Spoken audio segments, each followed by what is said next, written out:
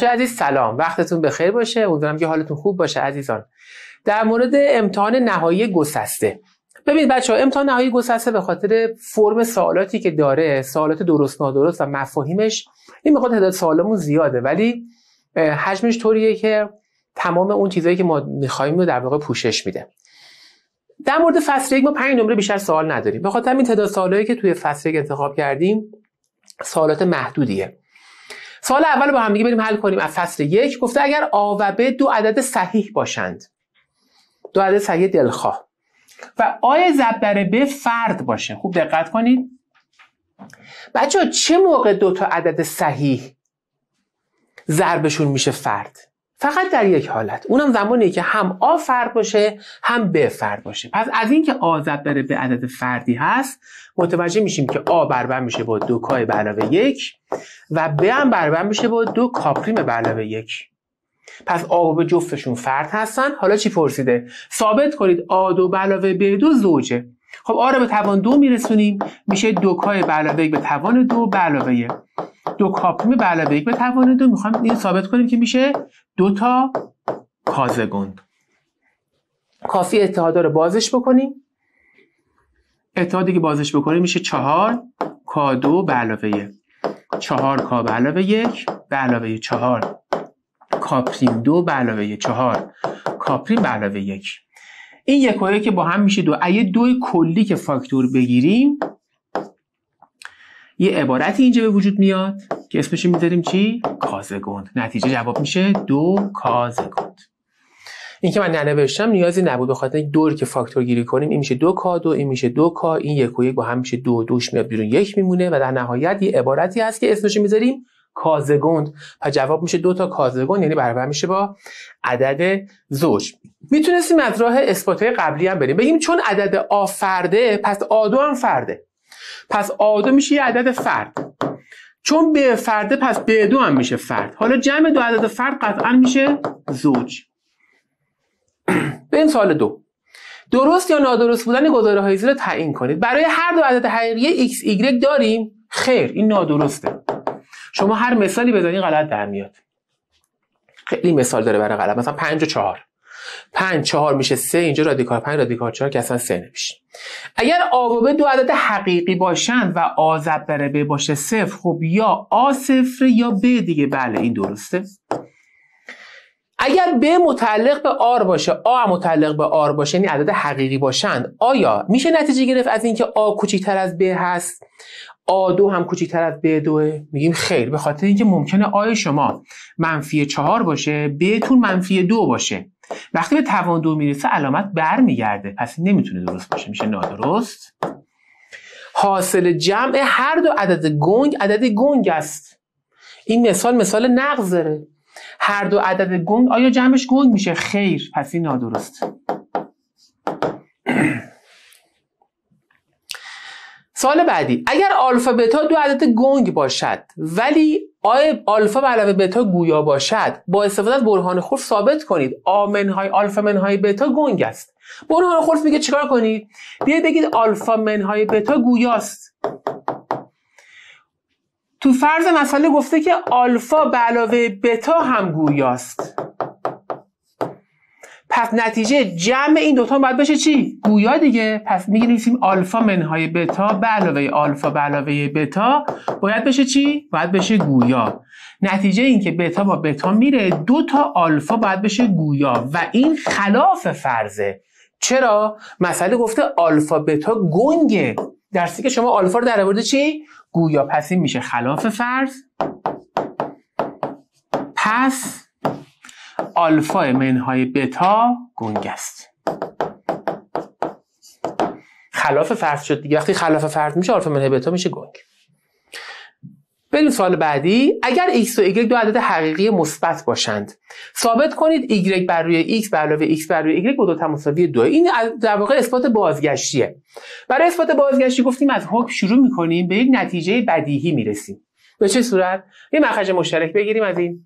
میشه x y اینجا میشه x2 به علاوه y2 با دو تماساوی دو. یک طرف مساسایی می‌کنیم میشه x2 به علاوه y2 با دو تماساوی 2 x y همه رو میاریم یک سمت.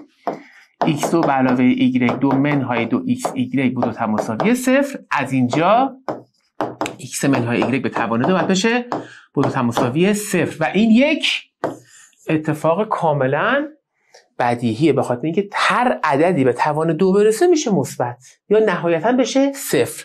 پس به یک نتیجه کاملا مسجل و مهرز رسیدیم و کاملا عبارتمون درسته. در نتیجه حکمی که داریم درست. سوال بعدی گفته که اگر n مطلق بعدا طبیعی باشه و n آد کنه 9 کا به علاوه 7 رو n هم آد کنه 7 کا به علاوه 6 رو ثابت کنید n یا برابر با 1 یا برابر با 5 طبق قوانین بخش پذیری وقتی n میاد آد می‌کنه 9 کای به علاوه 7 و n میاد آد می‌کنه 7 کای به علاوه 6 پس مضارب همدیگر هم چیکار می‌کنن؟ آد می‌کنن. در نتیجه می‌تونیم چیکار کنیم؟ می‌تونیم اینو ضرب در یک منفی 7 بکنیم و این پایینیه رو ضرب در یک 9 بکنیم. به طوری که کا با همدیگه چه بشن؟ قرینه بشن که با جمع و تفریق از بین برن. وقتی ضرب انجام میدیم n آد می‌کنه منفی 63 کا منهای 49 و اینجا n آد می‌کنه. 63 کا به علاوه 54 اگه طرفین با هم دیگه جمع بکنیم این 63 کا با منهای 63 کا میره. پس n آد می‌کنه. 54 به علاوه 49 میشه 5 حالا اگر n عدد طبیعی باشه قطعا n دیگه مثبت منفی 1 و 5 نمی‌تونه باشه. پس می‌تونه فقط یک باشه و فقط 5 باشه. پس n می‌تونه یک باشه یا n می‌تونه عدد 5 باشه که دقیقا حکممون ثابت میشه. اینا نمونه سوالاتی که بچه‌ها می‌تونه تو امتحان امسال نمونه هاش یا خودش در واقع بیاد تو امتحان چون تکرار در واقع سوال کتاب دیگه. اکثر موقع مخصوصا جا که اکثرا داخل کتاب میدن. گفته جای خالی رو با عددی عبارت مناسب پر کنید. اگه برای دو عدد صحیح و ناصفر آوبه داشته باشیم. آوبه باشه یک. بچه این یعنی چی؟ یعنی به میمیم آوبه شده یک. یعنی دو عدد نسبت به همدیگه اولن. یا اصطلاحا میگیم آوبه دو عدد متباین هستند. می‌تونیم بنویسیم متباین یا دو عدد که نسبت به هم اول هستن. جفتش می‌تونیم بنویسیم. اگر آ آد کنه ب رو می‌دونیم که ب از آ بزرگتره. پس کمیمیم آ میشه خود ب. سال هفت. اگه باقی مانده تقسیم m و n بر 13 به ترتیب 2 و 9 باشد در این سال باقی مانده تقسیم 5n منهای 3m بر 13 چقدره؟ بچه اون جزئی که بابت گسسته با هم دیگه کار کردیم برای سال دوازدهم اون جزوه به همراه این نمونه سوال ها می‌تونه مکمل بسیار خوبی برای امتحان نهاییتون باشه. کل جزوه که گفتیم حدود 5 ساعته. نزدیک یک ساعت همین طول می‌کشه کلا میشه 6 ساعت. این 6 ساعت رو جمع بکنین مطمئن باشید نمره بالای 17 رو می‌تونید تو امتحان گسسته امسال داشته باشید. شک نکنید بریم مثال حل کنیم با هم دیگه. گفته m و n بر 13 اگر m رو بخوایم تقسیم بکنیم در واقع به این صورت میشه. گفته تقسیم اینا باقی مانده تقسیم m و n بر 13 به ترتیب اعداد دو و 9 هستش. میگیم m برابر میشه با 13 q به علاوه 2 n برابر با 13 q پریم به علاوه 9 در این صورت باقی مانده تقسیم 5 n منهای 3 m بر 13 چی میشه؟ خب 5 n n رو ضرب در 5 کنید. میشه 5 n برابر میشه. بچه 5 رو می‌خواید ضرب کنید تو 13 ضرب نکنید می‌نویسیم 13 در 5 کیو پریم 5 نقطه هم که میشه 45 برای بالایه چیکار می‌کنیم؟ توی 3 ضرب می‌کنیم. ضرب در 3 بکنیم میشه 3 m برابر میشه با 13 در 3 کیو به علاوه 6 پایین منهای بالا می‌کنیم. میگیم 5 n منهای 3 m برابر میشه. بچه 13 تا یه چیزی. اینم 13 تا یه مقداری دیگه هرچی 5 تا کیو زگون 5 تا کیو پریم کلا اگه 13 فاکتور گیری کنیم میشه 13 تا کا. پس اینو می‌نویسیم 13 کا. 45 هم اگه منهای 6 بکنیم میشه چقدر؟ میشه به علاوه 39 تا. درست شد؟ پس دقت کن اینجا رو. طرفین رو از هم کم می‌کنیم. چرا؟ چون قرار 5 n منهای 13 بشه. این دوتا عبارتی که مضارب 13 هستن وقتی از هم کم بشن بازم مضرب 13 میشن. پس به جاش بنویسم 13 تا کا اما 45 منهای 6 بشه از 6 تا کم کنیم میشه 39 حالا دقت کن اینجا رو. بچه این 39 که شما اینجا می‌بینید در واقع خودش 3 تا 13 تاست. یعنی عین این چیزی که اینجا هست سه برابرش وجود داره. میشه 3 ضرب در 13 یعنی من 39 رو می‌تونم بزنم کنار بکنمش صفر. چون دقیقا 39 مضربی از 13 هستش. در نتیجه باقی مانده و دست میاد عدد صفر. چون 39 در واقع 3 تا 13 تا میشه. زمانی که شما اینجا عدد داشته باشید و این مضارب 13 رو ازش کم بکنین اگر هیچی باقی نمونه یعنی باقی ماندهتون صفره. اگر در یک سال شنبه روز اول مهر باشد در این صورت با استفاده هم نهشی تعیین کنید. 12 بهمن در همان سال چه روزی اینو من توی جزوه در واقع 12 هم, هم گفتم. سوالش حل کردم. اینجا یه بار دیگه حل می‌کنیم با هم دیگه. شنبه گفته روز اول مهره پس شنبه رو می‌ذاریم کنار. شنبه روز اول مهره. در نتیجه کلا مهر ماه 29 روز میشه.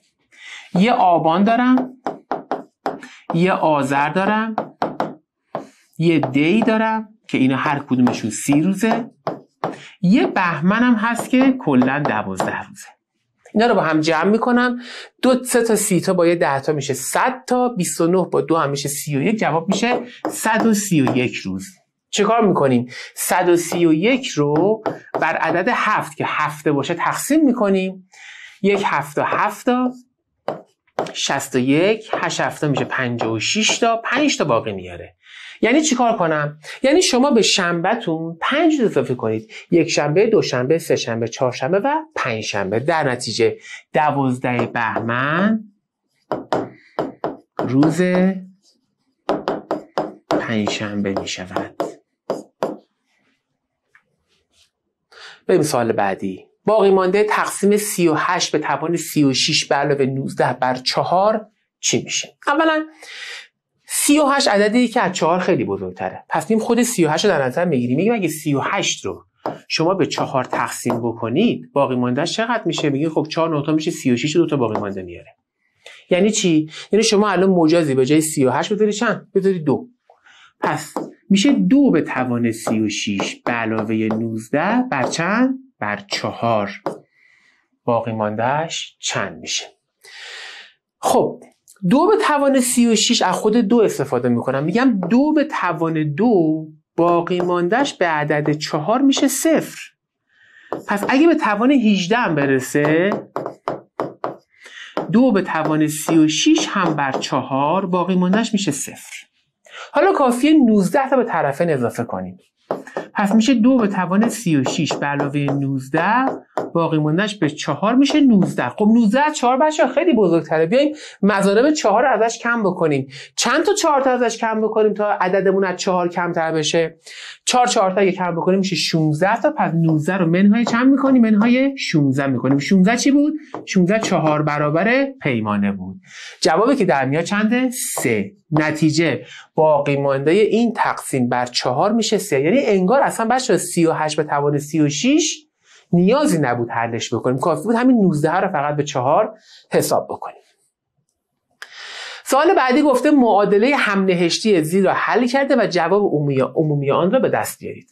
خب 8x هم نهشت با 20 به پیمانه چند 12 ببین بچه ها ما می‌تونیم اینجا بیایم اینو ساده کنیم. بگیم خب بین 8 و 20 کمیمیم داریم. کمیمیشو به دست بیاریم. بمیمیشو در واقع به دست بیاریم.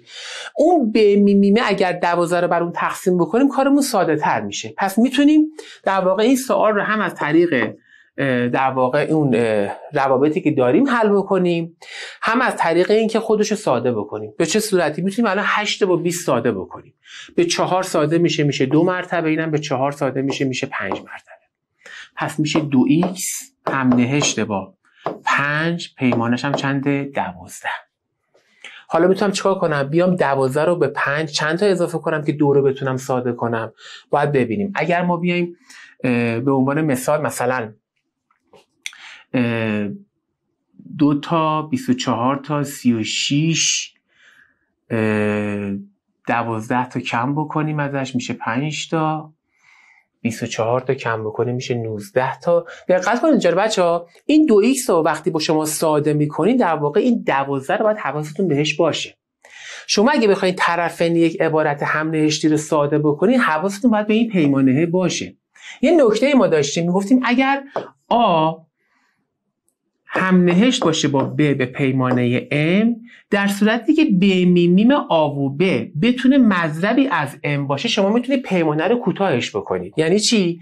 یعنی من میگم 8 و 20 ب میم میمش میشه عدد چهار.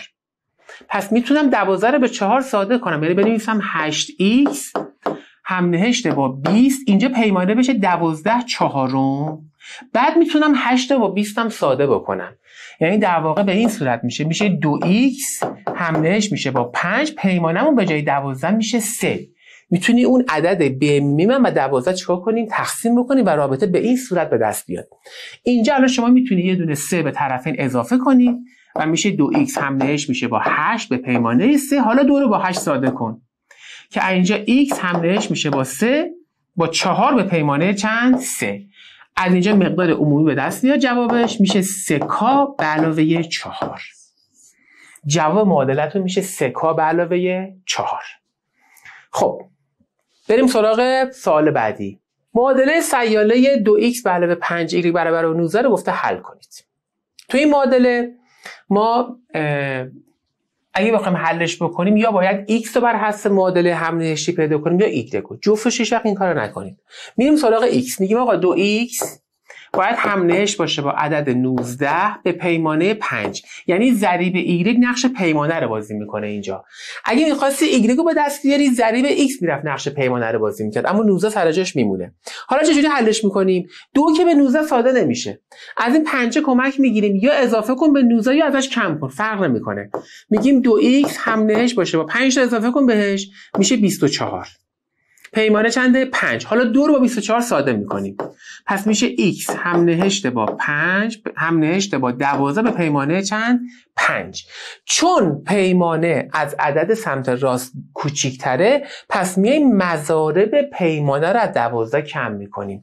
دو تا 5 تا اگر ازش کم بکنیم اینجا x به دست میاد. که میشه همنهش میشه با دو به پیمانه 5 پس مقدار x به دست میاد. 5k به علاوه دو. این میشه معادله اول ما. برای مقدار y چیکار می‌کنیم؟ کافیه مقدار x رو تو معادله اول قرار بدیم. میشه دو در 5k به علاوه دو به علاوه 5 y مساویه با 19 دو رو ضرب می‌کنیم. میشه 10k به علاوه 4 منهای 19 مساوی با منفی 5 y از اینجا 10 k منهای 15 برابر میشه با منفی 5 y همه رو برای منفی 5 تقسیم می‌کنیم y به دست میاد. 3 منهای 2 k. سوال, از ما فقط پرسیده بود که جوابهای معادله رو به دست بیارید جوابهای عمومی معادله به دست میاد. اگر احیانا تو سوال بدید که جوابهای طبیعی به دست بیارید باید به کا عدد بدیم تا جایی که x و y مقادیر طبیعی به ما بده. که اینجا به راحتی می‌تونیم در واقع با مقادیر x مقادیر مختلف کا مقدار x و y رو به دست بیاریم. اما بریم سراغ فصل دوم بخش گراف. تو گراف ما چون هشت نمره تو امتحان نهایی داریم قطعا سوالات بیشتری رو باید مورد بررسی قرار بدیم. سوال اول گفته ثابت کنید تعداد رؤوس فرد هر گراف عددی زوج است. ببین بچه ها مجموع درجه هر گراف همیشه برابر با دو کیو هستش. مجموع درجه ها دو حالت داره حالت اول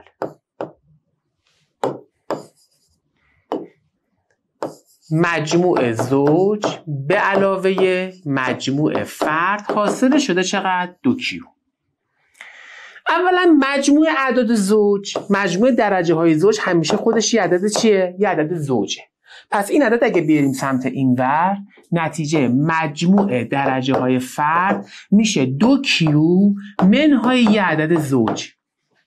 بچه دو کیو که خودش زوجه. عدد زوج هم که ازش کم شده پس نتیجه سمت راست تصابیمون همیشه عدد چی میشه؟ زوج میشه. در نتیجه مجموع عدد فرد همیشه برابر با زوجه. مجموع درجه های فرد همیشه برابر با یک عدد زوجه و مثلا به راحتی اثبات میشه. سال بعدی گفته گراف جی رو مطابق شکل مقابل در نظر بگیرید. مجموعه رؤوس و مجموعه یالها رو بنویسید. مجموعه رؤوس. چند تا داره A B C D پس مجموعه رؤوس رو با وی نشون میدیم. میشه A B C D و E. پنج تا رأس داریم. مجموعه یالها با ای نشون میدیم. یال آب یال دی یال بی سی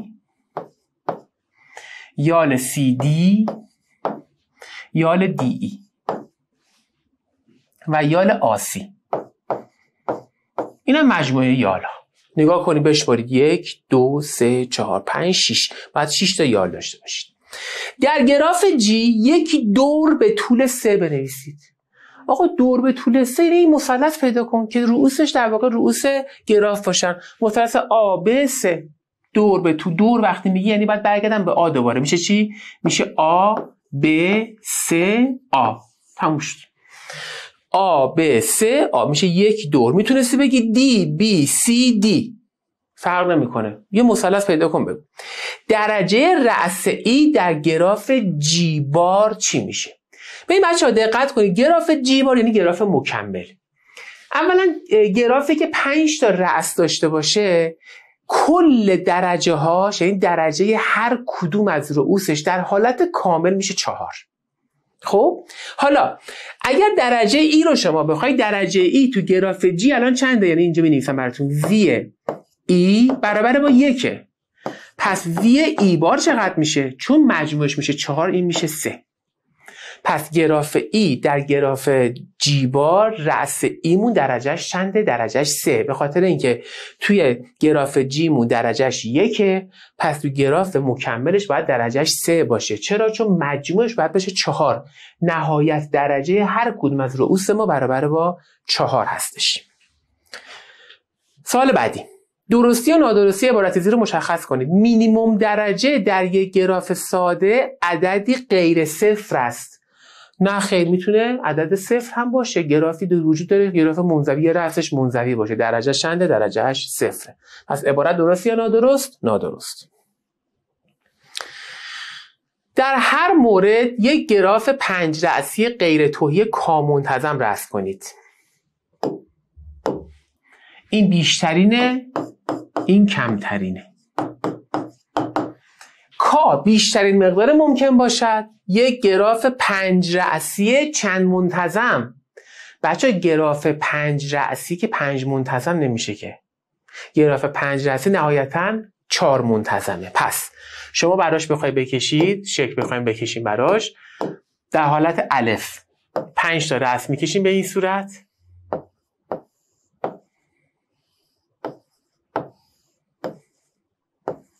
به این صورت.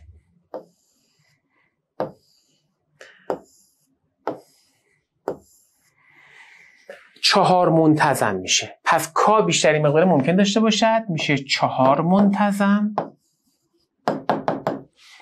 و کا کمترین مقدار باشه. اولا کمترین مقدار میشه صفر منتظم.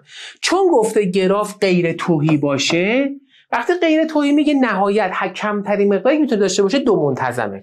پس دوباره یک گراف می‌کشیم به این صورت. تمام. این گراف میشه دو منتظم این هم از سوال بعدی سال 16 گفته مج... جاخالی ها رو مناسب پر کنید. مجموع درجه های رأسای هر گراف دو برابر تعداد یال هاست یادتون هست می‌گفتیم مجموع درجه های هر گراف کلا برابر میشه با دو کیو. پس این میشه دو برابر تعداد یال ها در یک گراف کامنتظم ماکسیموم درجه رس برابر با چیه؟ برابر با پی منهای یکه. کافیه رؤوسش ازش یه دونه کم بکنیم. وقتی میگیم 6 منتظم نهایت درجهش می‌تونه هفت باشه. پس اگه ما هفت منتظم بخوایم داشته باشیم درجه رأس برابر با چی میشه؟ پی منهای یک. یعنی کافیه یه دونه ازش کم بکنیم. سوال بعدی. گراف جی در نظر گرفته شده. با سوالات زیر پاسخ بدید. انرژی آ آقا این نماد چیه؟ دقت کنید. ما دو تا حالت داریم بچه ها یه موقع میگیم n جی آ دقت کن. انرژی یعنی همسایه های آ در گراف جی به شرط داره. شرطش اینه که اولا اگر شما پرانتز داشتید خود آ رو حساب کنید. حساب نکنید در واقع. آ وجود نداره. اما اگر کروشه داشتید خود آ حساب میشه. پس دقت کن اینجا رو. الان به ما گفته که درجه ها نزدیکترین همسایه های آ رو یعنی همسایه های رأس آ رو این رأس آ با خود آ بنویسید. پس اینجا مجموعه به این صورت میشه. خود آ که باید باشه همسایه آ رؤوسی هستن که با یک یال به هم وصل شدن. پس میشه B, D و E B, D و E تموم شد. به این میگن انرژی آ که خود آ باشه. اگه ازت اینو می‌خواست آ رو بذار کنار. می‌شد B, E, D پس پرانتز شامل آ نمیشه ولی کروشه شامل آ میشه. پس این انرژی که نوشته اینجا منظور همسایه های رأس آ هستش. یک دور به طول چهار پیدا کن. یه چهار زدی پیدا کن. بچه یه پروانه اینجا می‌بینید نه؟ پروانه ها همه چی؟ همه چهار زدی هن. آ ب ای دی آ. چون گفته دور باید از یه جا شروع کنیم به خودش تموم کنیم. میشه آ بی ای دی و آ. یک دور به طول چهار. یک مسیر به طول سه پیدا کنید. مسیر از آ به چی مثلا؟ به طول سه مثلا از آ به سی. میشه آ ای بی سی. آ ای بی سی. یادون باشه بچه ها مسیری که طول سه داشته باشه باید چهار تا رأس براش داشته باشیم یعنی شما اول و آخر رو باید داشته باشی سه تا یال هم وسطش باشه. میشه آ ای بی و سی. میشه یک مسیر به طول سه. یک مسیر به طول چهار از آ به سی بنویسید حالا. به طول چهار از آ به سی چجوری میشه؟ میشه آ دی ای بی سی. پس برای اینکه از آ به سی مسیر به طول چهار باشه باید پنج تا نقطه داشته باشیم اینجا. یعنی باید از همه رؤوس بگذریم. پس میشه آ دی ای بی و سی. میشه آ دی ای بی و سی. نگاه کنید پنج تا حرف داریم چهار تا فاصله داره بینش به این صورت نوشته میشیم سال 18 در هم مورد عبارت صحیح را داخل پرانتز انتخاب کنید. تعداد رؤوس یک گراف بهش میگن مرتبه گراف. گرافی را همبند مینامیم که بین هر دو رأس آن یک مسیر یا یال وجود داشته باشد. بله درسته. یک مسیر یا یال؟ سال گرافی را همبند میگیم که بین هر دو رأس آن یک مسیر وجود داشته باشه یا یال یک یال وجود داشته باشه اگر G یک گراف n رأسی باشد مقدار Q های G به علاوه Q G مکمل همیشه برابر با N در N منهای یک دوم و N در N منهای یک آیا درسته یا نه؟ یک گرافی که بچه ها فرض کنید مثلا گراف شما 5 تا رأس داره. خب؟ کیو مثلا توی گراف اول. کیو منظورش یال هاست. اولا کلا ما 10 تا یال داریم در حالت کلی. فرض کن مثلا چهار تاش اینجا می‌خواد باشه 6 تاش اینجا می‌خواد باشه. اگر شما 5 رو تو این قرار بدیم میشه 5 ضرب بر 4 تقسیم بر 2 میشه 10 5 ضرب بر 4 میشه 20 گفته مقدار جمع این دوتا چی می‌تونه باشه؟ برابر با کدومه؟ بچه‌ها جمع این دوتا میشه دو کیو دیگه. دو کیو برابر چی بود؟ میشه کیو در واقع درسته؟ کیو برابر چی بود؟ کیو برابر بود با چی؟ N در n منهای یک دوم. پس این غلطه. جواب میشه گزینه اولی در واقع. در واقع شما کیو رو می‌خواستی حساب بکنی می‌شد p در p منهای یک دوم. جای p گذاشته n حالا فرقی نمی‌کنه. گراف cn تنها یک دور به اندازه n داره. بله. یک دور داره نه مسیر. پس میشه گزینه یکیش. سال 19 جای خالی رو پر کنید. مرتبه گراف نشان دهنده تعداد مرتبه گراف نشان دهنده تعداد رؤوس گراف هست. مرتبه همیشه با پی و رأس ارتباط داره. اگر یک یال یک رأس به خود آن رأس وصل کند یعنی رأسی که به خودش وصل بشه بهش میگن توقه یادتون هست اینو توی که توی در واقع طرح 20 دوازدهم گفتم اینو تو کتاب فقط تعریفش آورده. سوالی ازش مطرح نمیشه. دو یال رو چی میگیم؟ هرگاه رأسی وجود داشته باشد که هر دوی آنها رو به هم متصل کنه پس میشه مجاور. دو یال را مجاور مینامیم هرگاه این شرط داشته باشه. تعداد های فرد هر گراف عددی زوج است. اینم اثبات کردیم ما. سوال 20 اگر جی سه منتظم باشه خوب گوش کن. وقتی میگه جی سه منتظم یعنی سه تا. پی برابر با دو تا کیو و اندازه آن یعنی کیو سه واحد کمتر از دو برابر تعداد رأس باشه. یعنی از دو برابر رأسش سه واحد چی باشه؟ کمتر باشه. گفته مرتبه گراف مرتبه منظورش چیه؟ منظورش پیه گفته پی چقدر میشه؟ من کافیه کیو رو از اون بالا به دست بیارم. اینجا بنویسم کیو میشه 3 پی دوم. پس 3 پی دوم مساوی چی قرار میدم؟ دو پی منهای 3 حساب می‌کنم. همه رو ضرب دو می‌کنم. میشه 3 پی برابر میشه با 4 پی منهای 6 از اینجا پی برابر میشه با 6 گراف من چند رأسی بوده؟ 6 رأسی بوده که این اتفاق توش افتاده. سوال بعدی گراف سی هفت رو در نظر بگیر. سی بچه ها منظور از سی یعنی گرافی که دایره ای هستش. چند ضلعی هفت ضلعی منتظم بهش میگن. وقتی میگه سی شیش یعنی شیش ضلعی منتظم.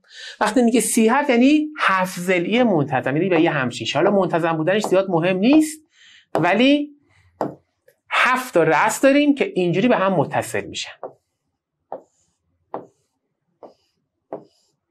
به این صورت ببینیم چه اتفاق چی از ما پرسیده تو این سال.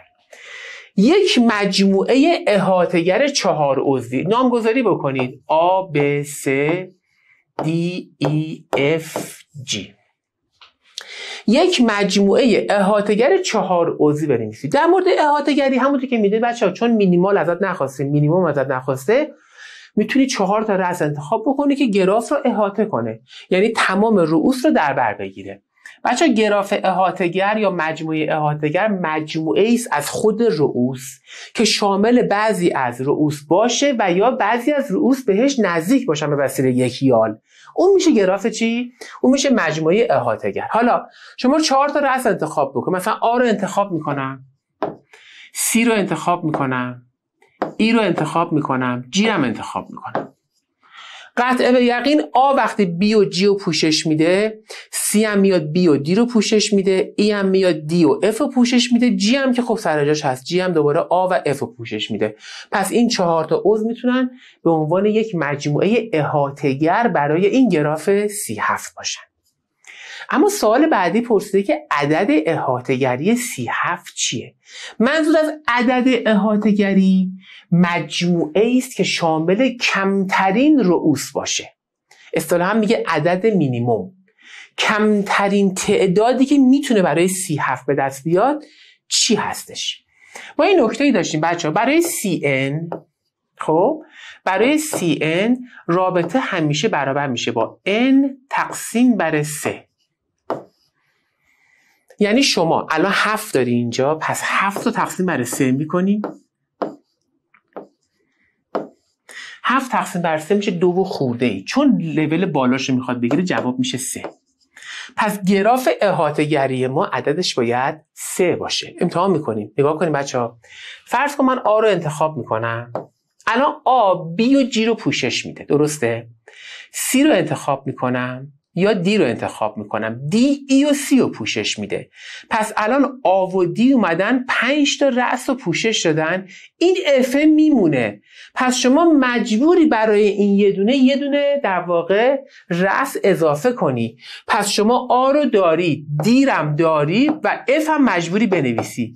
به همین دلیل عدد احاطه‌گری این گراف برابر با عدد سه میشه. یادتون باشه برای گراف سی هفت.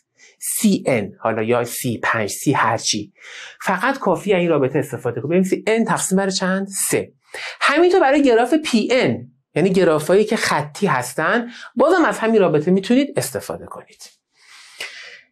دو مجموعه احاتگر مینیموم متمایز بنویسید. خب یکیشو که نوشتم ADF یکی دیگه می نویسم ببین ADF رو گفتم این دفعه می نویسم B.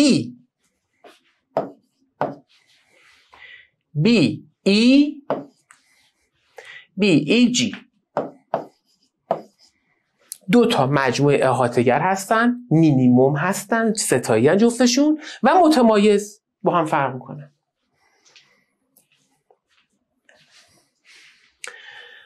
سوال 22 گفته ثابت کنید هر مجموعه احاتگر غیر مینیمال را می توان با حذف برخی از رؤوسش به یک مجموعه احاتگر مینیمال تبدیل کرد. بچه فرض کنید یک مجموعه ای داریم شامل این رؤوس. A1 A2 A3 الا تا AN خب؟ میام یکی یکی چیکار می‌کنیم؟ میام یکی اینا که دارم میگم بهتون می‌تونید بنویسید. می‌نویسیم ابتدا مجموعه در مجموعه دلخواه رو در نظر می‌گیریم که مجموعه تمام رؤوس یک گرافه. برای اینکه این گراف بتونه در واقع احاتگر مینیمال بشه طبق تعریف باید هر کدوم از اعضاشو که انتخاب بکنیم و حذف بکنیم گراف از حالت غیر مینیمال در بیاد. میگیم خب اگر آ رو اگر آ1 رو انتخاب کردیم اگر آیک رو انتخاب کردیم و گراف غیر مینیمال موند پس آیک رو می‌ذاریم کنار میریم سراغ رأس بعدی. به همین ترتیب رؤوس رو یکی یکی انتخاب می‌کنیم. هر کدومشه باعث شد به مجموعه احاتگر مینیمال تبدیل بشه در واقع اثبات مسئلهمون همونجا تموم میشه. چون شما اینجا براش اثباتی در واقع نداریم. ما طبق تعریف مینیمال میگیم اگر هر کدوم از رؤوس رو نه فقط یک رأس رو هر رأس دلخواه که انتخاب کردی اگر برداریم اون گراف دیگه نباید گراف مینیمال باشه. یعنی در واقع نباید احاطه گر بشه. پس شما اگر یک مجموعه احاطه گر غیر مینیمال داشته باشی قطع به یقین می‌تونیم چند تا از رؤوسش رو برداریم که تازه بشه مینیمال. پس یکی یکی از آیک استفاده می‌کنیم بعد آدو بعد آسه به همین ترتیب میریم جلو و با حذف برخی از رؤوسش قطعا به یک مجموعه احاطهگر مینیمال تبدیل خواهد شد. ممکنه رأس آ رو ورداریم نشه. باز دوباره همون غیر مینیمال باقی بمونه. ممکنه آسر ورداری نشه. ممکنه 5 تا رس برداری ولی بازم غیر در واقع مینیمال باشه. ولی بالاخره چند تا رس وجود داره که اگه ورداریم تعدادش مشخصه. اگه ورداریم در نهایت این گراف می‌تونه چی بشه؟ به مینیمال تبدیل بشه. پس آزمایش کردنش در واقع توضیح میدیم. چیز عجیب غریبی نداره. قسمت ب چی گفته؟ در گراف روبرو یک مجموعه احاتهگر مینیمال پنج عضوی مشخص کنید. خب اولا بچه ها گراف احاطهگر مینیمالی که می‌خوای انتخاب بکنی هیچ وقت مینیموم انتخاب نکن. از تو اون برو مینیمال انتخاب کن. اصلا مینیموم داستانش فرق می‌کنه. ما چیکار می‌کنیم اینجا؟ میگیم آقا بهترین حالت اینه که بیایم دور شکل رو انتخاب بکنیم. نگاه کنید. دور شکل 5 تا عضو داره. A B C D و E. من به نظرم این مجموعه هادگر مینیمال می‌تونه باشه. حالا هستم میام بررسی می‌کنم. به چه صورت؟ میام آقا قبول داری که هر کدومشه خوب دقت کن حتی یکی نه هر کدومشه که انتخاب بکنید و حذفش کنید این گراف دیگه نباید احاطه بشه. مثلا من می‌خوام دی رو حذفش کنم. اگر دی رو حذفش بکنم چه اتفاقی میفته؟ برای ای و سی که اتفاقی نمیفته چون اینا تحت پوشش بی و آ قرار دارن. ولی قطعا برای آی اتفاق بدی میفته آی از حالت پوشش میاد بیرون و دیگه این گراف گراف احاتگر نیست.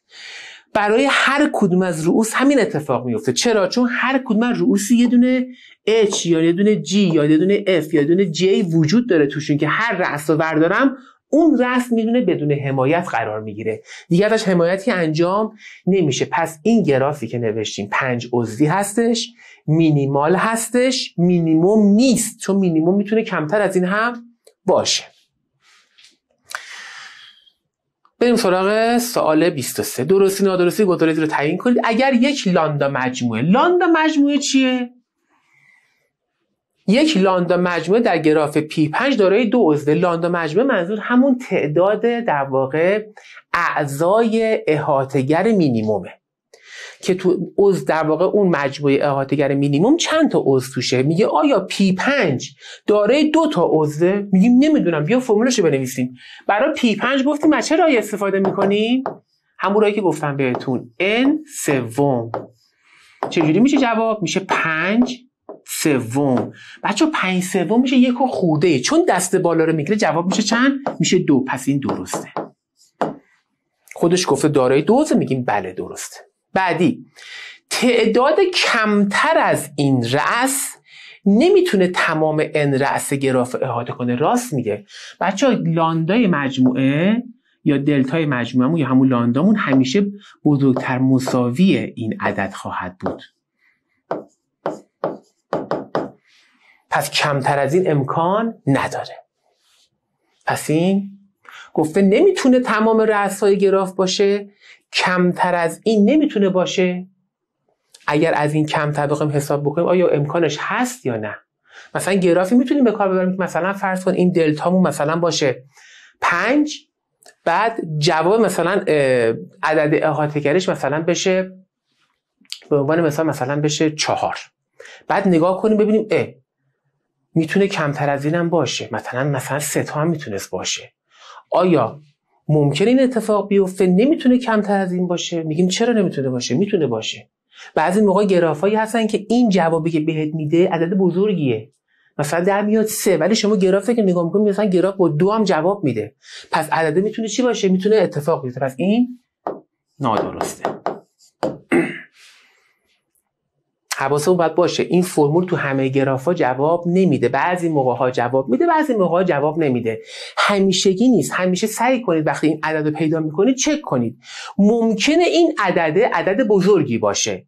در صورتی که شما با گراف که نگاه می‌کنید مثلا مثلا متوجه میشی که این گراف مثلا با دو تا در واقع رأس هم می‌تونه احاطهگر مینیموم باشه ولی در صورتی که این به شما جواب داده سه.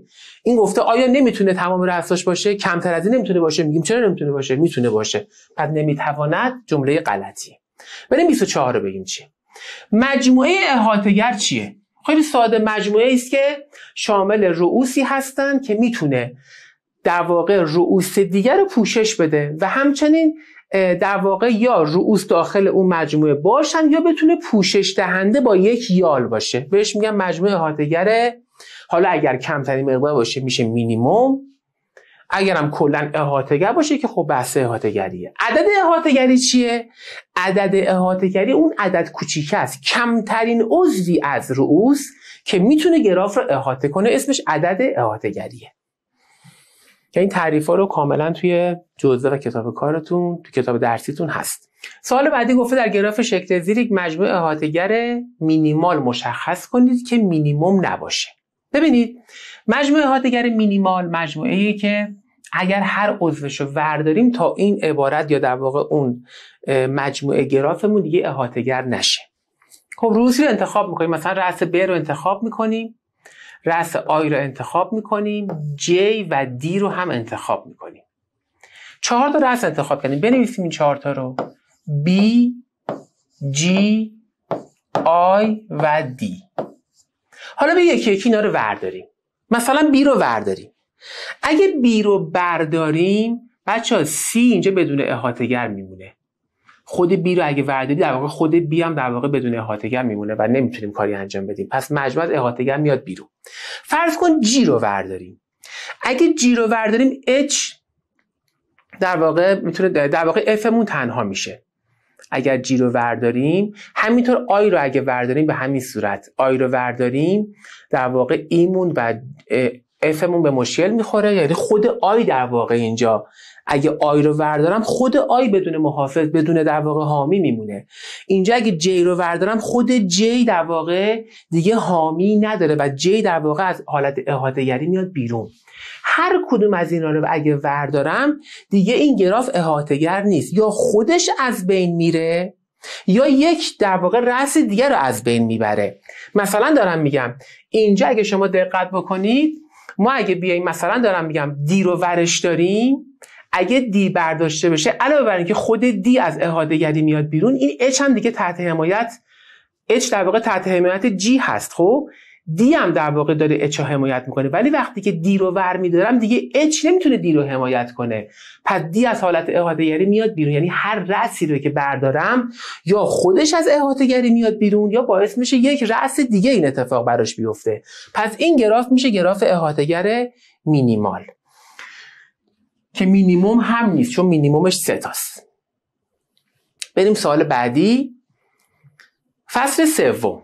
فصل سوم ما در واقع از ترکیبات شروع می‌کنیم. مثل این سوال تو کتاب یک توضیحات خیلی کوچیکی در مورد ترکیبیات در مورد سال گذشته و سال دهم گفته. مثالش من آوردم براتون. یکی دو بار تو امتحان نهایی سال 97 دیماه 97 و همچنین توی سال گذشته اومده بوده ازش. یکی دو تا نمونه با هم حل کنیم ازش. گفته شش کتاب ریاضی مختلف و پنج کتاب فیزیک متمایز. به چند طریق می‌تونیم در کنار هم قرار بدیم. به طوری که کتاب ها یکی در میان قرار بگیرن. اولا یکی در میان قرار گرفتن کتاب ها باید با اون کتابی که بیشتر هست شروع کنیم. یعنی ما از کتاب ریاضی شروع می‌کنیم. چون 6 تاست. فرمول به چه صورتی میشه؟ میگیم آقا اگر شما یک دو سه چهار پنج شیش هفت هشت نه ده یازده تا کتاب داریم می‌خوام یکی در میون کنار همدیگه بچینیم. به چه صورتی میشه؟ اول کتاب ریاضی. 6 تا کتاب داریم میشه 6 حالت. چون یکی در میونه یکی میام جلو. اینجا میشه پنج. اینجا میشه چهار اینجا میشه سه اینجا میشه دو اینجا میشه یک. یعنی وقتی شما از کتاب بزرگتر شروع می‌کنی اونی که تعدادش بیشتره سر و ته عدد در واقع کتاب تو این کتابی که بیشتره پوشش میده. حالا وسط نگاه کنیم پنج جا خالی داریم. برای پنج جا خالی چیکار می‌کنیم؟ کتابای فیزیک رو میچینیم. میشه پنج چهار سه دو و یک. اینا رو تو هم دیگه ضرب می‌کنیم. جواب کلی میشه شش فاکتوریل. ضرب در پنج فاکتوریل. میشه یکی در میون. بعدی گفته کتاب های ریاضی کنار هم و کتاب های فیزیک کنار هم باشن. میام چیکار می‌کنیم؟ کتاب ریاضی ها رو می‌کنیم. یه box. یک box داریم از کتاب ریاضی که خودش 6 فاکتوریله یه box داریم از کتاب فیزیک خودش 5 فاکتوریله این دوتا box هم جابجا جا میشن که یه ضرب در دو فاکتوریل میشه. پس جواب میشه 6 فاکتوریل ضرب بر 5 فاکتوریل ضرب بر 2 فاکتوریل در واقع اونایی که قرار کنار هم دیگه باشن توی box قرار میدیم. چون متمایز هستن خودشون جایگشت داخلی دارن. پس برای هر کدوم جایگشت داخلی می نویسیم حالا جابجایی این دوتا با هم دیگه دو فاکتوریل هم خواهد داشت که در واقع جابجایی box هامون میشه. سوال بعدی گفته می‌خواهیم با حروف شین، الف و سه سه نقطه و پنج عدد یک سه پنج هفت نه. یک رمز شامل هشت کاراکتر. تشکیل دهیم. به طوری که تعداد کل رمزهایی که در هر یک از آنها حروف کنار هم باشن چقدره؟ وقتی میگه حروف کنار هم باشن این ستا رو می‌گیریم کنار هم دیگه. پس این سه حرف کنار همدیگه خودش سه فاکتوریال جایگشت داره. درست شد؟ این سه با پنج تا عدد دیگه یعنی یک سه پنج هفت و نه. پس دقت کن یه سه فاکتوریال داخلی دارم یک و دو و سه و چهار و پنج و شیش تا شی هم دارم که متفاوتن. این 6 تا میشه 6 فاکتوریال. پس میشه 6 فاکتوریال ضرب داره این سه فاکتوریال داخلی که وجود داشت. دقت کن اونایی که قرار کنار همدیگه باشن توی box قرار میدم. به عنوان یک عدد مثلا عدد ده قرار میدم اینجا مثلا عدد مثلا دو. میگم حالا دو و یک و سه و پنج و هفت رو هم میشن 6 تا میشه 6 فاکتوریال. تعداد رمزایی که میشه ساخت به این صورت می‌تونیم حساب بکنیم. سال 28 به چند طریق از بین چهار نوع گل چهار مدل گل داریم. می‌خوایم دست گلی شامل هشت شاخ گل به دلخواه انتخاب کنیم. چهار نوع گل متفاوت دست گلی شامل هشت شاخ گل به دلخواه انتخاب کنیم. خب اگه دقت بکنید اینجا رو ما چهار مدل گل متفاوت داریم. پس میشه x1 x2 x3 و x4 دستگلی شامل هشتا به دلخواه. وقتی میگه به دلخواه یعنی ممکن من از گل اول اصلا نخوام چیزی بردارم. از گل دوم نخوام چیزی بردارم. پس هر کدومش می‌تونه از صفر تا هشت انتخاب بشه. ترکیب رو نگاه کنی. میگیم تعداد به علاوه ها چند تا؟ از یک دو سه تا. سه و 8 11 جواب میشه ترکیب سه از 11 قسمت ب گفته از هر چهار نوع گل حداقل یکی انتخاب بشه. به چند طریق می‌تونیم هشت گل انتخاب بکنیم؟ این دفعه اومده گفته آقا بالاخره یکی یه دونه گل شما از این چهار تا ورد بعد بقیه‌اش هر کاری خاصی بکنی میگم خب چیکار می‌کنم اینجا؟ قضیه ساده است. یکی یه دونه اول به این گل ها میدم. میگم آقا یه دونه میدم به این یه دونه به این میدم یه دونه به این یه دونه به این. میشه چهار تا. پس میشه x1 به علاوه x2 به علاوه x3 به علاوه x4 چهار. تا گل بهشون دادم. پس از مجموع هشت تا شاخه که می‌خوام چهار تاش میره چهار تاش میمونه. دوباره رابطه رو براش می‌نویسم. رابطه این دفعه میشه سه تا به علاوه دارم. سه و چهارم میشه هفت. جواب میشه ترکیب سه از هفت. سوال بعدی. تعداد جواب های صحیح و نامنفی این معادله چی میشه؟ 6 تا بچه ها مجهول دارم جواب شده 12 خودش گفته که x یک بزرگتر مساوی دو باشه. اگه x یک بزرگتر مساوی دو باشه من در واقع بزرگتر از دو باشه من باید مساویش کنم پس میشه x یک بزرگتر مساوی چند؟ سه از طرف x پنجمون هم چیه؟ x پنجمون هم بزرگتر مساوی چهار هستش پس من میگم بیا اول یه چهار تا و یه سه تا به x1 و x5 بدیم بگی آقا شما این چهار تا رو فعلا که خودت خواستی مایل بودی که از چهار تا بیشتر بگیری پس شما یه دونه برای یک یه دونه سه تا بهش میدم. برای پنجم یه دونه چهار تا بهش میدم. این سه و چهار رو وقتی می نویسیم میشه x که به علاوه x2 به علاوه x6 خب مساوی میشه با این سه و چهار که میشه 7 از 12 کم میشه 5 تا میمونه. حالا معادله جدید من به این صورت میشه. نگاه کنیم بچه ها 5 تا به علاوه دارم.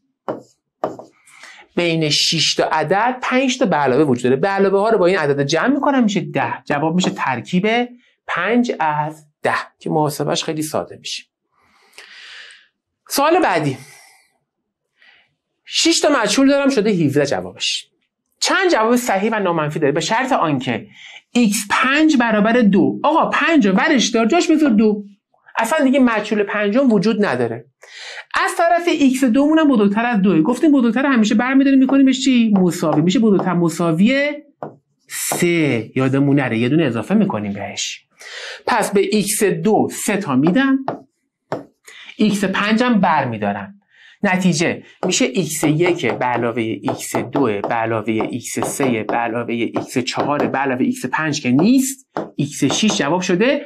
دو که از 17 کم میشه می‌بینه 15 تا. سه تا دیگه هم ور میداریم بعدش میشه 12 تا. پس معادله من میشه یک دو سه چهار. چهار تا به علاوه دارم. میشه ترکیب چهار از 16 خیلی ساده محاسبهش انجام میشه. سوال بعدی. به چند طریق می‌توان از بین شش نوع گل متفاوت ده شاخه انتخاب کرد؟ به طوری که از گل نوع سوم حداقل چهار شاخه و از نوع ششم بیش از دو شاخه انتخاب بشه. خوب گوش کن. شش نوع گل. میشه x1 به علاوه x2 به علاوه x3 به علاوه x4 به علاوه x5 به علاوه x6 جواب شده ده. گفته از نوع گل سوم حداقل چهار. معنیش چی میشه؟ یعنی x3 بزرگتر مساوی چهار. گفته از نوع ششم بیش از دو. یعنی بزرگتر از دو. گفتیم همیشه نامساوی تبدیل میشه به چی؟ مساوی. یعنی این میشه x6 بزرگتر مساوی 3 پس این دوتا شرط رو بیشتر نداریم. میام چیکار می‌کنم؟ چهار تا میدم به 3 سه تا میدم به 6 سه و چهار میشه هفت. هفت از ده تا کم می‌کنم. دهمون میشه سه. به علاوه ها رو میشمارم. یک دو سه چهار پنج تا به علاوه دارم. میشه ترکیب پنج از هشت. تمام. سالها بسیار ساده. فقط کافی تکنیکشو خوب بلد باشین. مثال فراوون آوردم براتون که راحت بتونید حل کنید. سال سی و دو. نه نفر به چند طریق می‌تونن در سه اتاق دو نفره و سه نفره و چهار نفره واقع در یک هتل اسکان پیدا کنن. دو نفره سه نفره چهار نفره. بچه این ترکیب بود. ترکیب به چه صورتی؟ ترکیب تکراری. میگم آقا نه نفر هستن. اینو من توی درسنامه دوازدهم به طور کامل توضیح دادم. اینجا یه بار دیگه میگم. وارد اتاق ها میشیم. اتاق A اتاق B و اتاق C. در اتاق آ رو باز می‌کنیم دو تا تخت می‌بینیم. میگم آقا از شما نه نفر دو نفر برن داخل. دو نفر از چند تا؟ دو نفر از نه تا. پس اینجا من دو تا از نه تا انتخاب می‌کنم. دو نفر میرن تو اتاق. بقیه میان جلو. بقیه چند نفرن؟ هفت نفرن. میان جلوتر. اتاق سه نفر است. سه نفر از اون هفت نفر میرن داخل اتاق بی چند نفر میمونن کنن چهار نفر که همه‌شون میرن داخل اتاق سی میشه چهار از چهار. اینا رو تو هم دیگه ضرب کنین. جواب به دست میاد. دو از نو سه از هفت چهار از چهار. چهار از چهار که همیشه یکه. این ورم میشه سی و پنج. سی و پنج ضرب در چهل و پنج جواب به دست میاد. سوال سی و سه. می‌خواهیم 20 نفر را به چهار گروه پنج نفره تقسیم کنیم خوب گوش کن. چهار تا گروه پنج نفره. به چند طریق این کار انجام پذیره؟ چهار تا گروه شبیه هم. چرا؟ چهار تا پنج نفره است. نگاه کن من تو گروه اول پنج نفر از 20 انتخاب می‌کنم. تو گروه بعدی 5 نفر از 15 تا انتخاب می‌کنم. تو گروه بعدی 5 نفر از 5 10 تا انتخاب می‌کنم. تو گروه بعدی 5 تا از 5 تا انتخاب می‌کنم. بچه ها قبول دارین که گروه هامون تکراریه؟ مگه نگفتیم جای گشت با تکرار؟ یعنی من باید تکراری هاشو ازش بگیرم. پس اینو تقسیم بر چند می‌کنم؟ چند تا گروه پنج نفره داریم؟ چهار تا. پس میشه تقسیم بر چهار فاکتوریل. این چهار فاکتوریلی که اینجا می‌بینید فقط به خاطر اینه که ما گروه هامون یکیه با هم دیگه. پنج تا گروه پنج چهار تا گروه پنج نفره یکسان داریم. یعنی گروه هامون متفاوت نیستن همشون پنج نفرن. پس داره گروه ها تکرار میشه. جایگشت با تکرار. جایگشتیه که تکراری ها رو می‌خوام ازش بگیریم. ممکنه جای اینا با هم عوض شه. اومدیم و من به جایی که از اینجا شروع کنم اینجا شروع کنم. و دو تا گروه ها با هم ترکیب بشن. پس گروه ها تکرار پذیر میشن. در نتیجه به تعداد گروه های یکسان به در واقع جایگشتش تقسیم می‌کنیم. که حالا جواب بالا رو حساب می‌کنیم ببینیم جواب چی میشه. با هم ضرب می‌کنیم همه حواستون باشه که عمل ضربه. سال 34 دو مربع لاتین متعامد از مرتبه سه بنویسید و متعامد بودن آنها را نشان دهید. آقا اینو الان توی درسنامه گفته بودم. گفتم خدمتتون یک بار دیگه اینجا میگم. سوالا کاملا تکراری هستش. برای مربع متعامد سه در سه. دقت کنید. یک مربع اینجا می‌کشم. یک مربع اینجا می‌کشم. یه دونه اینجا و یه دونه اینجا. برای مربع های فرد معمولا این کار رو انجام میدیم. اینو من پررنگش می‌کنم با رنگ قرمز که مشخص بشه این مربع اصلی ماست. اینو قرار متعامدش بکنیم. میام چیکار می‌کنم؟ قطر فرعی رو در نظر بگیرید اینجا. می‌ذارم یک یک یک. حالا قطر اصلی فرق نمی‌کنه. دو دو دو سه. سه سه. درست شد؟ به این ترتیب. حالا میام از این ور این کار انجام میدم. میام در راستای قطر در واقع فرعی انجام میدم. میشه یک یک یک. دو. دو. دو. سه. سه. سه. حالا اینا رو جابجا می‌کنم. چه جوری میگم آقا این مربع این در واقع باید سه تا بره جلو. یک دو سه. سیزده میاد اینجا سی و یک میاد اینجا.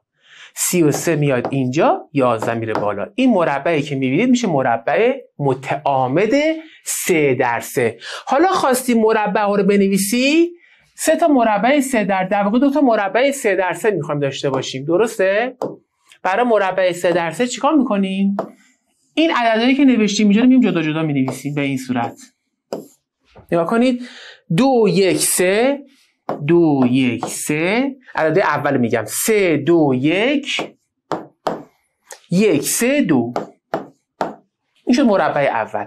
مربع بعدی کدومه؟ مربع بعدی در واقع عدد دومی هست میشه سه یک دو.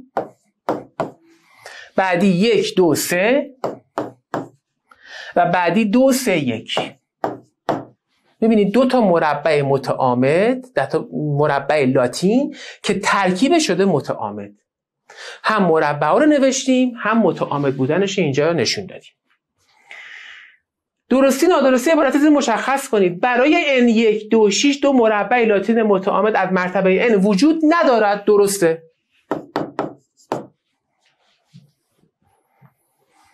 در هر مورد متعامد بودن دو مربع لاتین را بررسی کنید. آیا دو تا مربع متعامد هستند یا نه؟ کافیه چیکار کنیم؟ عددها رو کنار هم قرار بدیم. 13 21 32 32 نگاه کنید بچه ها این 32 رو می‌بینید؟ 32 این سه بیاد کنار میشه 32 این سم کنار بیاد میشه 32 32 چند بار تکرار میشه؟ دو بار. پس این متعامد نیست. عدد 32 دو بار تکرار شده. بعدی 32 21 13 11 33 22 23 12 31 درسته. این میشه متعامد. عدد عددهایی که خوندم هیچ کدوم تکراری نبودن. قرار است سه کارگر W1 W2 W3 در سه روز متوالی با سه ماشین نخریسی و با سه نوع الیاف کار کنند. به گونه ای که هر کارگر با هر نوع ماشین و هر نوع الیاف دقیقا یک بار کار کرده باشند. گفته که براشون برنامه‌ریزی کنید. خب یک مربع متعامل چند در چند می‌کشیم؟ سه در سه. مربع سه در سه رو براش در نظر می‌گیریم.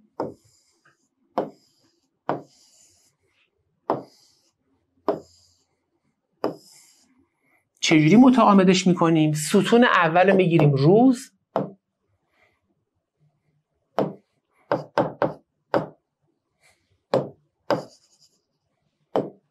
می‌گیریم روز یک روز دوم روز سوم. ماشین ها رو می‌گیریم چی؟ ماشین رو می‌گیریم M1 M2 M3 کارگر و نخریسی رو می‌ذاریم داخلش.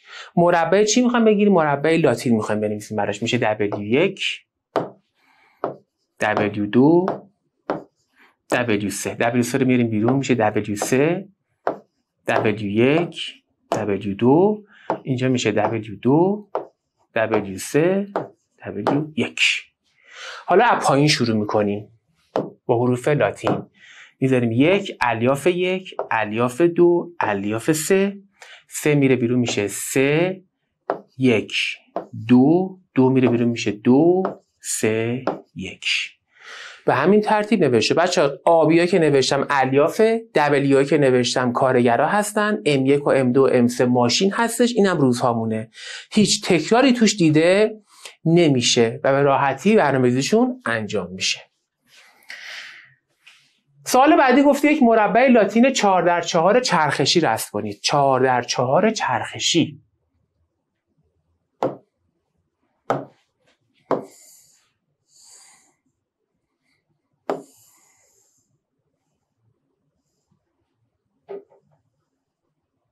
به این صورت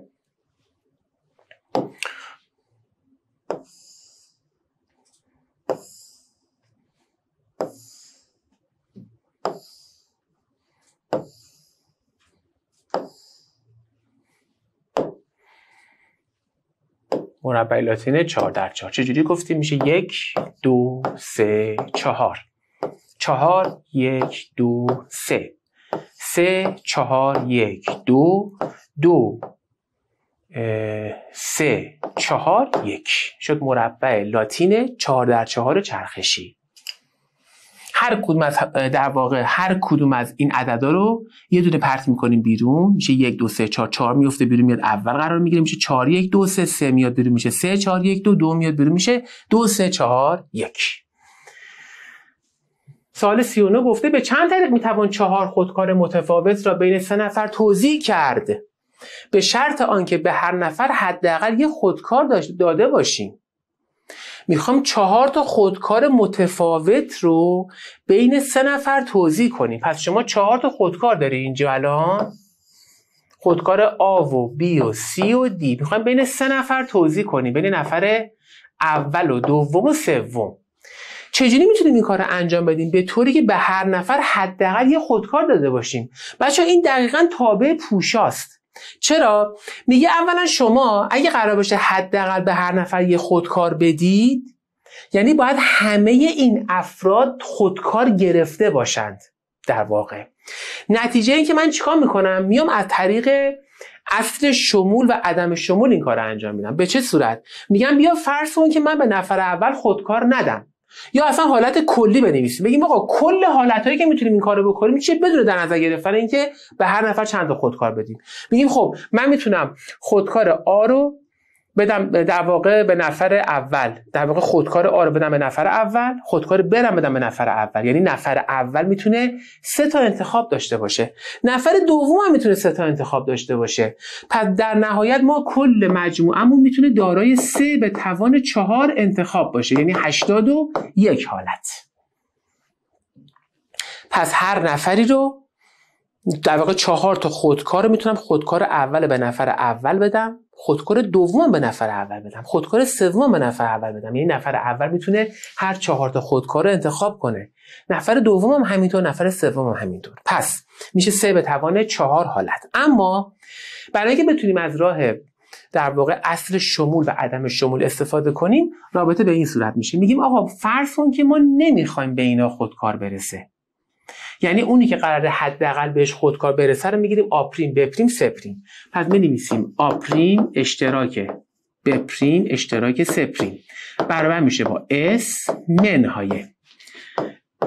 فقط به آ نرسه به ب نرسه به سی نرسه به آ و بی نرسه به آ و سی نرسه. به B و C نرسه و به هر ستاشون برسه. حالا چیکار می‌کنیم؟ میگیم آقا فرض کن که اینو شما می‌خوای. این همون چیزی است که ما می‌خوایم. این حد اقل است. در واقع اومدیم متمم رو عوض کردیم گفتیم آقا اونی که قراره حد اقل بهش برسه رو بگیریم آ پریم که قراره بهش نرسه رو بگیریم آ. پس میگیم کلش چقدر شد؟ کلش رو سه به توان چهار منهایه می‌خوام به آ اصلا نرسه. اگه به آ نرسه پس این دوتا می‌تونن چند تا انتخاب داشته باشن؟ هر کدومشون چهار تا. پس میشه دو به توان چهار. برای آ دو به توان چهار برای ب و دو به توان چهار برای سی. علامت بعدی چیه؟ منها. می‌خوام به یک و دو اصلا نرسه. پس میشه یک به توان چهار میشه منهای یک به توان چهار منهای یک به توان چهار منهای یک به توان چهار. به علاوه به ستاشون هیچی نرسه. خب هیچ میشه صفر.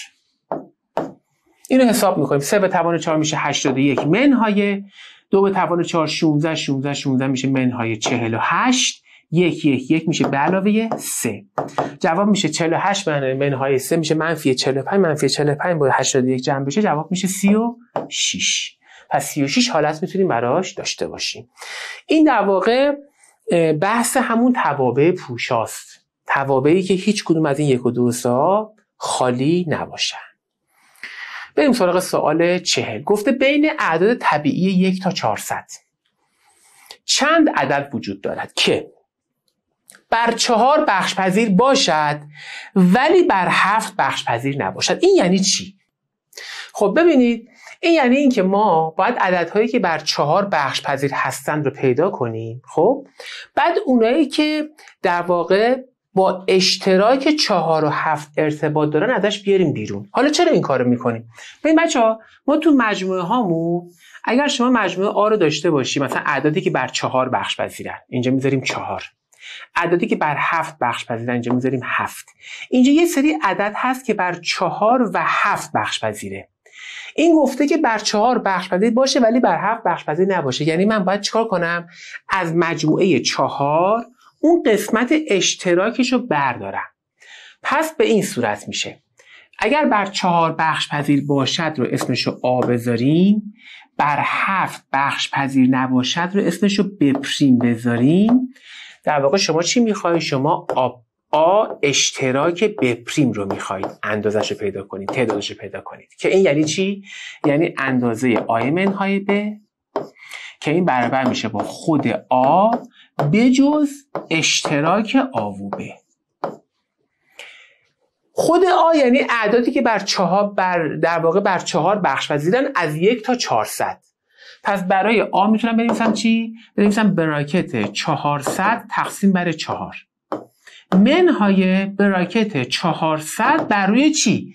حالا آ اشتراک ب یعنی عددهایی که بر کمی میم 4 و 7 بخش پذیرن یعنی از 400 تا بعد عددهای انتخاب بشه که بر 28 بخش پذیر باشه اینو که ازش کم بکنیم مقداری به دست میاد تعدادی به دست میاد که بر چهار بخش پذیر هست ولی بر هفت بخش پذیر نیست. خب انجام بدیم ببینیم چقدر میشه. 400 به 4 که عدد روندی میشه میشه 100 منهای 400 به 28 اگه ساده کنیم میشه 200 به 14 میشه 100 به 7 100 اگه به 7 تقسیم بکنیم حدود 14 میشه.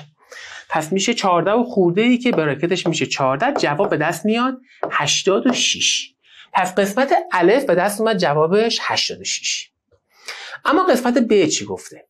گفته فقط بر یکی از اعداد چهار یا هفت بخش پذیر باشه. وقتی میگه فقط بر یکی یعنی یا فقط بر چهار بخش پذیر باشه یا فقط بر هفت بخش پذیر باشه.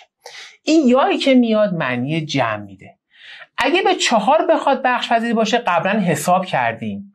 فقط بر چهار بخش پذیر باشد و قبلا حساب کردیم. بیایم فقط بر هفت بخش پذیر باشد هم حساب بکنیم با هم جمعشون کنیم. خب فقط بر هفت بخش پذیر باشه دفعه میشه اندازه بپریم. در واقع میشه به اشتراکش با چی؟ با آ پریم این دفعه آ پریم می‌گیره. چون نمی‌خوایم به چهار بخش پذیر باشه دیگه. پس میشه بی منهای آ میشه مقادیر بی منهای دوباره آ اشتراک ب مقادیر بی میشه چی؟ مقادیر بی میشه عددهایی که به هفت بخش پذیرن. میشه 400 تقسیم بر هفت. منهای دوباره همون 400 تقسیم بر 28 میشه. ببینیم جواب این چقدر میشه. 400 به 7 اگه ساده بکنیم میشه 400 تقسیم بر 7 5 هفتا 35 تا. 7 هفتا 49 تا 57 میشه. میشه 57 منهای این هم که حساب کردیم چند شده بود؟ 14 57 منهای 14 میشه عدد 43 پس جواب این قسمت آخر در میاد. چند؟ چهل و سه. جواب اولی چند در اومده بود؟ 86 چون یا اومده با هم جمع می‌کنیم. پس جواب کل میشه 86 به علاوه 43 که برابر میشه با 129 129 تا عدد هست که یا فقط بر چهار بخش پذیرن یا فقط بر هفت بخش پذیرن.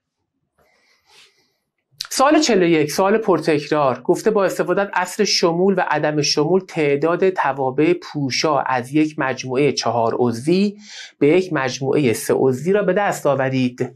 دوباره همون اتفاق. یک مجموعه چهار عضوی A B C D به یک مجموعه سه عضوی یک دو سه. می‌خوام چی نباشه؟ می‌خوام آپریم اشتراک به پریم اشتراک سه پریم برابر میشه با. اس منهای پرانتز باز. آ نباشد ب نباشد سی نباشد. منهای. آ و سی نباشد منهای. آ و بی نباشد منهای. بی و سی نباشد به علاوه آ و بی و سی باشد. اینو بارها بارها دیدیم تکرارش حل کردیم. اگه تابع بخواد پوشه باشه باید این سه تا در واقع حالت کلش اینه که کلا سه تا به توان چهار برسه. این در واقع کل توابعی بودش که ما داشتیم. حالا برای اینکه بتونیم پوشا بودن رو مشخص کنیم چیکار می‌کنیم؟ اون حالت هایی که یک نباشه و دو نباشه و سه نباشه یک و دو نباشه یک و سه نباشه دو و سه نباشه از کل میریزیم بیرون. هرچیمون از کل کم می‌کنیم میشه جوابی که ما می‌خواستیم. پس سه به توان چهار رو حساب می‌کنیم. می‌خوام آ نباشه. آ منظور یکه. می‌خوام عدد یک نباشه. میشه دو به توان چهار. ب نباشه. دو به توان چهار. سی نباشه. دو به توان چهار. منظور از سی عدد سه هستش. یک و دو نباشه. منهای یک به توان چهار. دو و سه نباشه. یک به توان چهار. یک و سه نباشه. یک به توان چهار. سه تاش نباشه. میشه صفر. اینو حساب می‌کنیم میشه 81 منهای 16 16 16 میشه 48 میشه 45 جواب میشه 36 سوال خیلی پرتکرار. هم تو کنکور اومده. توی حالتهای مختلف. یا میگه تابع پوشا یا میگه می‌خوایم بین سه نفر تقسیم کنیم که حداقل به یه نفر به هر کدومش مثلا یه جایزه برسه. به هر طریقی که مسئله بیان بشه راه حلش یکی میشه. فرقی نمی‌کنه.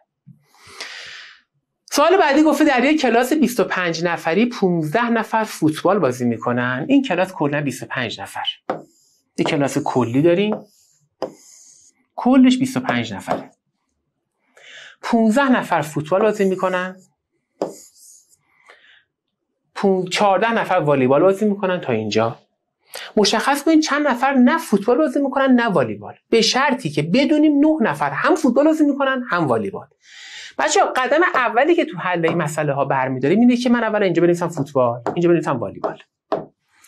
نه نفر هم فوتبالن هم والیبال. این میشه نه نفر. درست شد؟ حالا خودش گفته 25 نفر کلا هستن که 15 نفر فوتبال بازی می‌کنن. خب 9 تاشون که الان اینجاست. از 15 نفر چند نفر میمونه؟ میشه 6 نفر. الان نگاه کن این محدوده که مال فوتبال شد 15 تا. 14 نفرم والیبال بازی می‌کنن. خب 9 تاش که این وسط چند تا میمونه؟ 5 تا. پس اینم میشه والیبال. تا اینجا 6 و 9 و 5 رو هم دیگه چند تا میشه اگه حساب بکنیم؟ میشه 20 نفر. کل مدرسه چند نفر بوده؟ 25 نفر. پس چند نفر هیچ بازی نمی‌کنن؟ 5 نفر. مثلا حل شد. 5 نفر هیچ بازی نمی‌کنن. نه فوتبال نه والیبال. در واقع از شما چی رو می‌خواسته اینجا؟ اینجا آپریم اشتراک بپریم رو از شما می‌خواسته. نه فوتبالی باشه بذار با اف و وی بنویسم که متوجه بشید. نه فوتبالی باشد نه والیبالی باشد. این چی میشه؟ میشه 25 منهای. فوتبالی باشد 15 تا. به علاوه. والیبالی باشد 14 تا. منهای فوتبال و والیبال باشه 9 تا. اینو بچه حساب بکنیم بازم جواب در میاد. عدد 5 هیچ فرقی نمی‌کنه. چه از روی فرمول بریم چه از راه در واقع مسئله. این در واقع به این صورت میشه. اس منهای فوتبال باشد. والیبال باشد. فوتبال اشتراکش با والیبال باشه. هیچ فرقی نداره. جواب هر جفتش یکی در میاد. این سراغ سوال بعدی. گفته به چند طریق می‌توان چهار کلاه را بین سه نفر توضیح کرد؟ به شرط آنکه به هر نفر حداقل یک کلاه برسد. دوباره همون سوال پوشاست بچه جواب میشه چقدر؟ 36 ببین چقدر پرتکرار بوده این سوال. به چند طریق می‌توان چهار کلاه متفاوت را بین هشت نفر توضیح کرد؟ خب چهار تا کلاه داریم اینجا. کلاه آ و بی و سی و دی. هشت نفر هم اینجا داریم. نفر اول و دوم و سوم و چهارم و پنجم و ششم و هفتم و هشتم.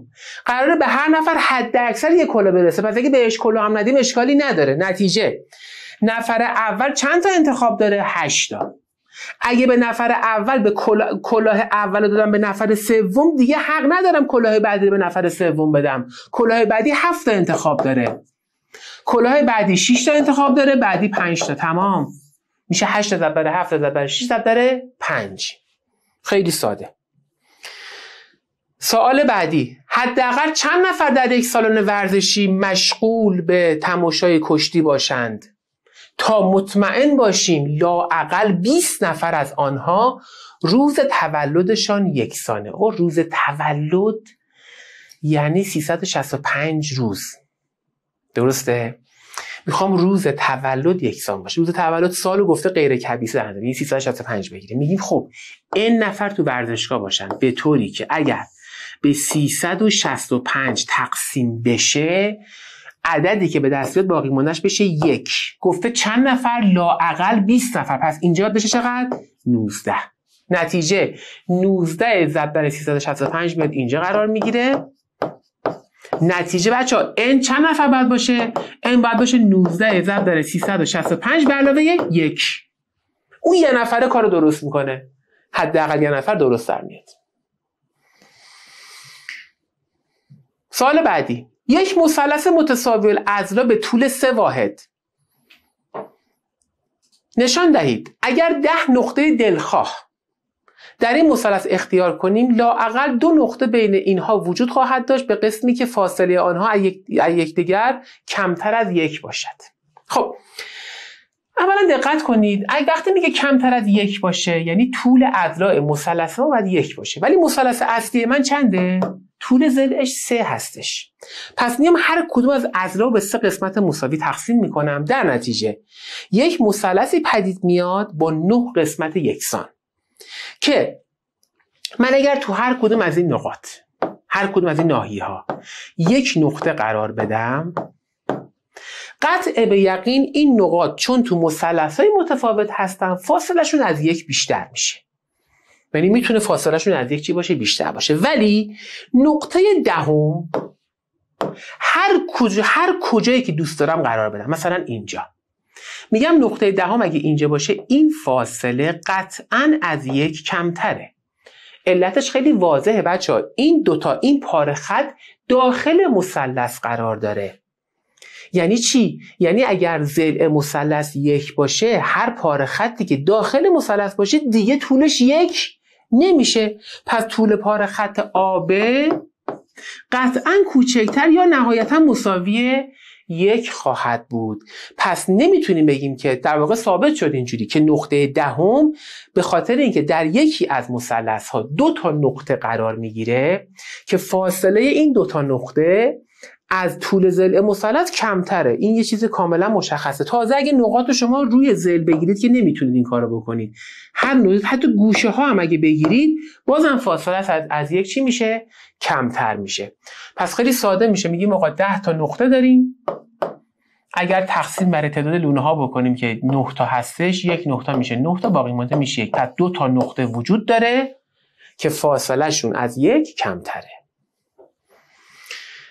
سال بعدی گفته مجموعه اعداد یک تا 84 رو در نظر بگیرید. نشان دهید هر زیر مجموعه 43 عضوی مجموعش حداقل دو عضو که مجموعش برابر با 85 بچا دقت کنید خیلی بدبینانه به قضیه نگاه کنید. توی مسائل اصل کبوتر باید بدبین باشیم به قضیه. یعنی بدشانسی خودمون رو تا نهایت حساب بکنیم. آقا بدشانسی من کی انجام میشه؟ زمانی که من عددهایی رو انتخاب بکنم که یا از 42 کمتر باشه یا از 42 بیشتر باشه. یعنی بیام فرض کن مجموعه انتخاب بکنم از یک و دو و سه و تا بیام عدد 42 نگاه کنید. من 42 تا عضو انتخاب کردم ولی هنوز هیچ کدوم این دوتا این اعدادی که اینجا هست جمعش 85 نمیشه. این میشه بدشانسی من دیگه. میشه بدشانسی. اما از 42 به بعد یعنی 43 44 45 تا 84 هر عددی انتخاب بکنم با یه دونه از این عددهای این و قطعا جمعش 85 خواهد شد. پس عضو 43 این ویژگی رو خواهد داشت. در نتیجه حکم ثابت شد. بچه برای اثباتش فقط توضیح بدید. خیلی واضح. نگاه کنید. میگیم فرض کنید که شما انتخابات انجام بدید و 42 عضو انتخاب شده. از بعد شانسی شما 42 تای اول انتخاب شده. پس برای اینکه من مطمئن بشم که دو تا عدد وجود داره که جمعش میشه 85 کافیه از 42 تای بعدی یک عدد انتخاب بکنم. هر چی انتخاب بکنم با 42 تای قبلی میشه 43 عضو. پس حداقل 43 عضو اگه انتخاب بکنم مطمئنم که دو تا عدد توش پیدا میشه که جمعش میشه 85 این توضیحی که می نویسید و نمرتون رو کامل می‌گیرید برای اصل لانه کبوتر. سال 47 در این خانواده پنج نفری حداقل دو نفر فصل تولدشان یکسان است. گفته نشان دهید. فصل. هر فصل بچه هر سال چند فصل داره؟ چهار فصل داره. خانواده چند نفریه؟ پنج نفره. میگیم پس اگه پنج رو تقسیم بر چهار بکنیم یک چهار تا میشه چهار تا باقی مانده میشه یک. در نتیجه یک به علاوه یک میشه دو. پس دو نفر وجود دارن که در یک فصل تولدشون وجود داره. بدشانسی چیه بچه ها بدشانسی اینه که این خانواده هر کدومشون توی فصل باشن. خب نتیجه نفر پنجم میمونه دیگه. نفر پنجم دیگه فصل پنجم که نیستش که مجبور یکی از این چهار تا فصل انتخاب کنه دیگه. حالا یا فصل بهار انتخاب میشه یا پاییز یا زمستون که در نهایت یکیش انتخاب میشه و در واقع یکی از فصل هستش که حداقل دو نفر توش دارای در واقع تولد یکسان هستن. و سال آخر. 54 شاخه گل 54 تا شاخه گل و حد اکثر در چند گلدان قرار دهیم. از شما تعداد لونه ها رو می‌خواد. پس 54 رو تقسیم بر ام می‌کنیم که تعداد لونه ها هستن. طبق اصل لانه کبوتر هر اتفاقی بیفته باقی مانده اینجا یک باید باشه. اینو نگه میداریم. ببینیم حالا باقی مانده. یک ای ممکنه اینجا عدد باشه 52 ممکنه باشه 50 من کاری ندارم. اما تقسیمش حتما یک باید بشه. یعنی باقی مانده رو ما یک در نظر می‌گیریم. طبق اصل لانه کبوتر. خودش گفته که حداقل 5 تا شاخش توی گل قرار گرفته باشه. پس اگر این یک باشه اینجا باید چهار باشه. حالا سوال من اینه. چهار ضرب در ام می‌خواد بشه. ببینیم چه عددی به ام بدیم که وقتی چهار توش ضرب بشه نزدیکترین عدد 54 باشه. حساب می‌کنم میگیم مثلا 4 تا 10 تا میشه 40 تا. نه. 4 تا 12 تا میشه 48 تا. نمیشه 4 تا 13 تا میشه 52 تا. ولی 4 تا 14 تا میشه 56 تا. پس امو می‌گیرم چند؟ امو می‌گیرم 13 4 تا 13 تا میشه 52 تا. باقی مانده این میشه دو. ولی شما طبق اصلان کبوتر یک در نظر می‌گیرید. چون تعریف اصلانه کبوتره. نتیجه شما چند تا گلدون لازم داری حد اکثر؟ دیگه نمی‌تونی از 13 بیشتر باشه. که بیشتر باشه 54 می‌زنه بالا. پس چند تا گلدون میشه حد اکثر در چند گلدان؟ در 13 گلدان. این هم شد سوال آخر. بچه عزیز این مجموعه سواله که با هم حل کردیم درس گسسته به خاطر سوالات درست نادرست و جاخالی و تعریفایی که داریم مقداری حجم سوالاش بیشتره. ولی زمانی که بررسی کردیم زمان کوتاهیه. این جزوه‌ای که الان گفتم خدمتتون این در واقع ضبطی که امروز دیدید رو به عنوان در واقع پیشبینی امتحان نهایی داشته باشید. قطع به یقین بدونید که ازش حداقل تا 15 نمره می‌تونه سوال بیاد. هم خودش می‌تونه باشه هم شبیهش می‌تونه باشه. انشالله در واقع توی امتحان موفق باشید. براتون آرزوی موفقیت می‌کنم. جلسات بعدی انشالله با توربوژه در خدمتتون خواهیم بود. تا دیدار دیگر خدا نگهدار.